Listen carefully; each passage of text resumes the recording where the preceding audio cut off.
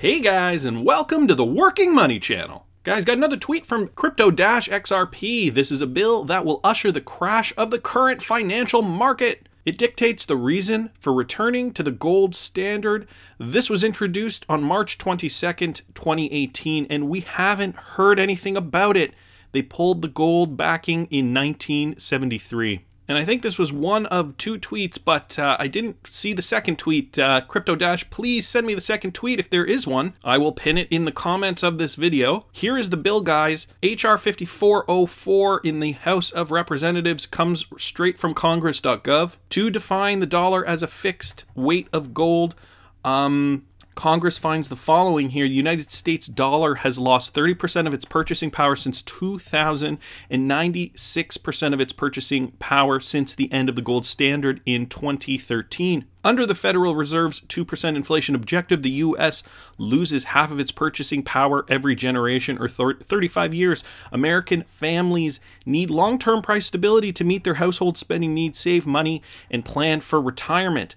The Federal Reserve policy of long term inflation has made American manufacturing uncompetitive, raising the cost of United States manufacturing goods by more than 40% since 2000 compared to less than 20% in Germany and France. And so, guys, this is a bill. This came out in March 2018. Um, www.congress.gov. Uh, I didn't hear about this. I know uh, probably lots of you guys didn't hear about this. Um, here is an article that was released back in July 2018. Efforts to replace dollar with gold and crypto are underway, says former U.S. presidential candidate. This may have flown under the radar too. Don't know if you guys heard about this. If you have or know more information about this, please do put it in the comment section. World financial chaos and the escalation of trade wars are propelling the global economy onto a dangerous trajectory.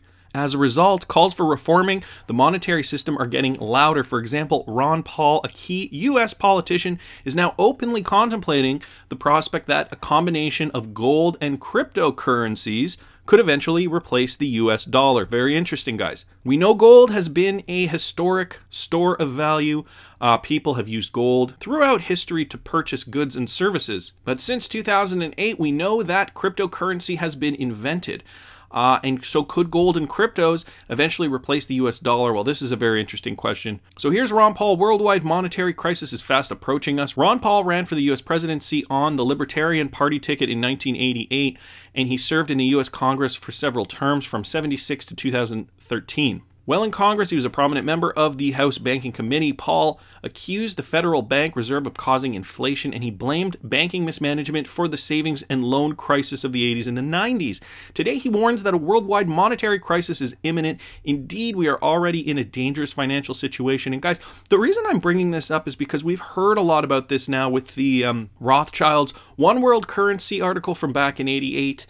Um, you know, a lot of things are coming down the pipe. We're scared about the stock market. Uh, stocks have been crashing uh, quite significantly. Um, here's gold, by the way, on a weekly chart, but I'm just going to show you the S&P 500 uh, real quick here uh, on a weekly. And so, guys, look at this. So, have we seen a double top in in the stock market? Well, we saw this top here. We saw a significant correction back in March 2018, then a rise again. We hit a new high, so we did break this high but only by a little bit, guys. And now we're seeing significant corrections. This is on a weekly. And when have we seen a double top pattern before? Well, we did see one back in 2007 2008 before this significant crash here we saw it we saw the stock market go up correct here quite a bit went back up again made a new high but then everything after that was a significant bearish trend down um, and so, guys, eh, you know, I'm not the only one talking about this. There are a lot of people talking about this.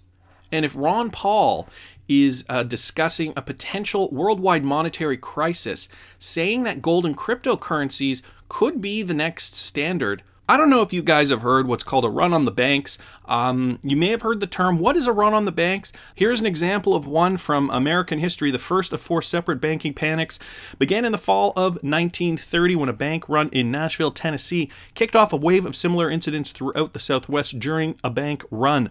A large number of depositors lose confidence, and here's where it is.